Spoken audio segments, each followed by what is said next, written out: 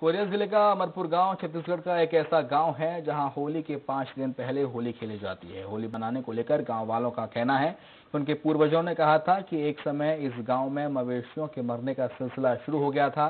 वहीं गाँव वालों को लगा कि गाँव में कोई बीमारी आ गई है, जिसके कारण मवेशियों और गाँव के लोग भी बीमार होकर मरने लगे थे। तभी एक बैगा इस गाँव में पहुँचा और इस गाँव के लोगों को बताया कि आप सब गाँव वालों हर त्योहार को पाँच दिन पहले मनाना शुरू कर दो जिसके बाद मौत का सिलसिला रुक जाएगा।